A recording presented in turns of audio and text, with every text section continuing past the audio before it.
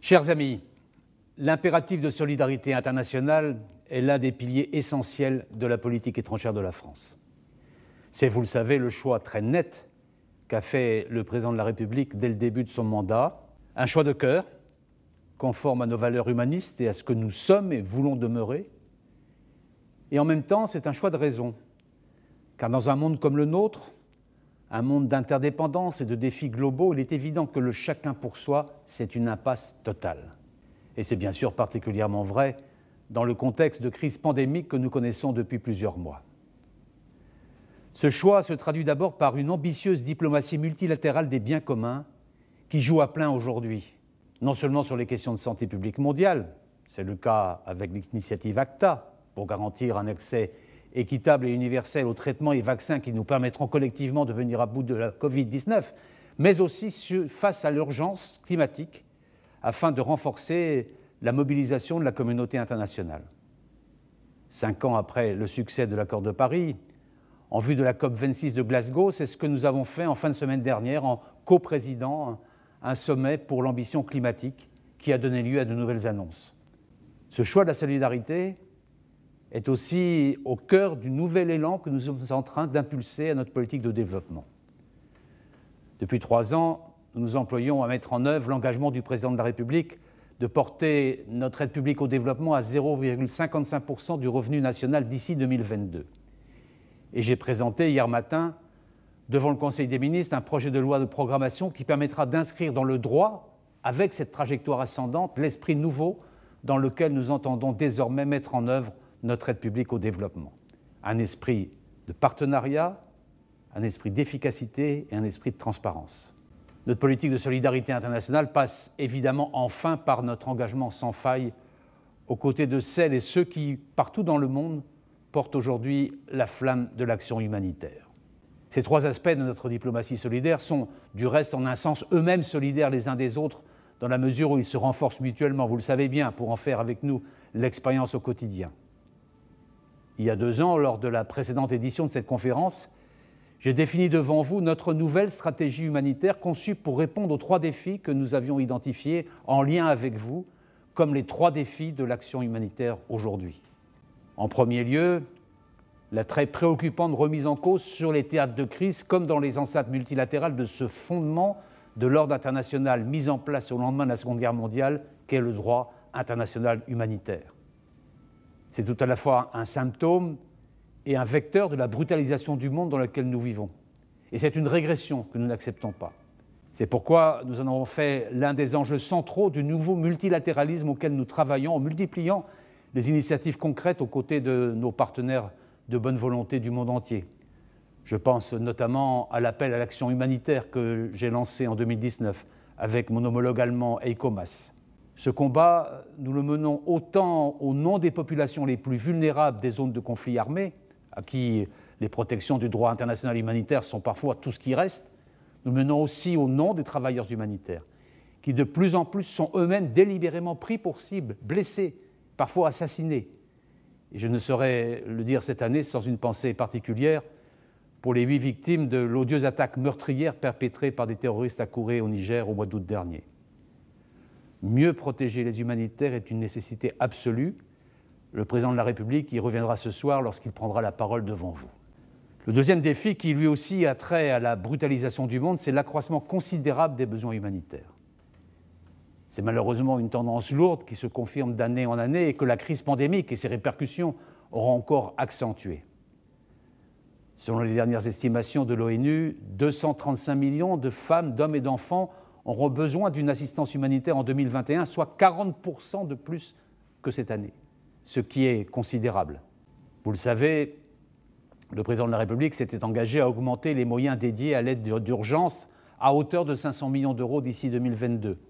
Et je n'ai eu de cesse de défendre personnellement cet engagement dans le cadre de nos projets de loi de finances. Et je suis heureux de pouvoir vous annoncer que l'aide humanitaire de la France augmentera de 82 millions l'an prochain pour atteindre 329 millions d'euros.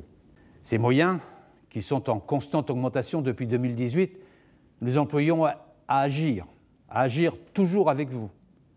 Agir en RDC pour faire face à Ebola et aux autres épidémies en dépit des difficultés nouvelles qui se posent sur le terrain à cause de la Covid-19.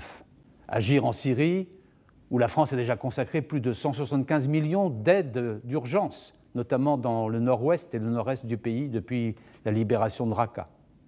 Agir pour permettre aux réfugiés du Levant, du Sahel, d'Ukraine, de revenir chez eux en toute sécurité, avec euh, les 18 millions d'euros engagés dans le cadre du fonds déminage depuis que nous l'avons créé.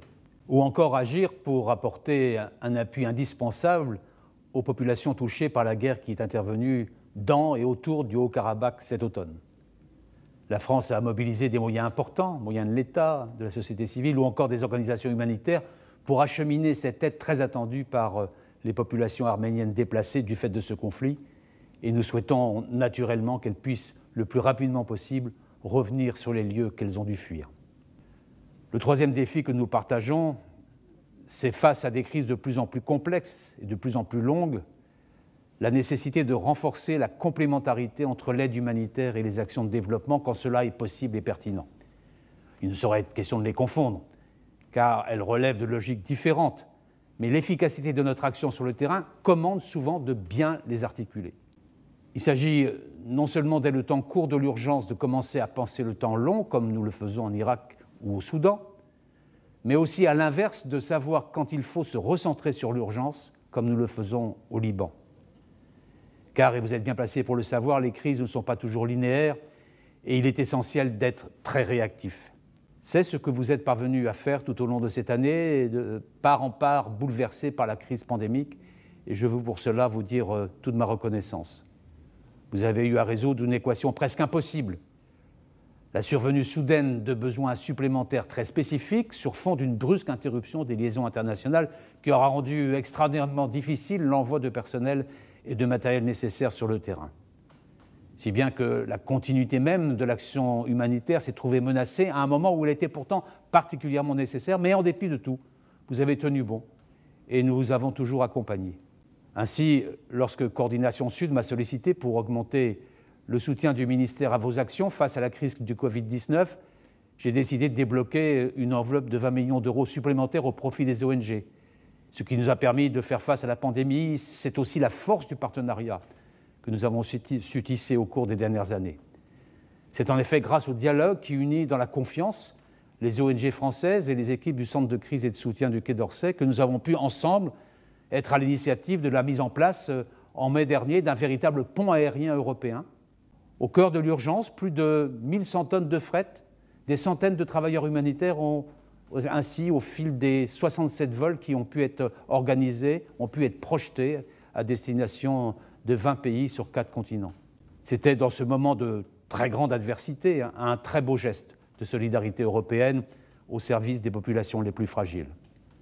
Je me souviens de la fierté qui était la mienne en montant à bord de l'avion qui s'est envolé à destination de la RDC avec euh, mon homologue belge Philippe Goffin et le commissaire européen Lenarchik, dont je tiens à rappeler d'ailleurs ici qu'il a joué un rôle tout à fait décisif dans ce succès avec euh, le nouveau réseau logistique humanitaire initié par des ONG françaises.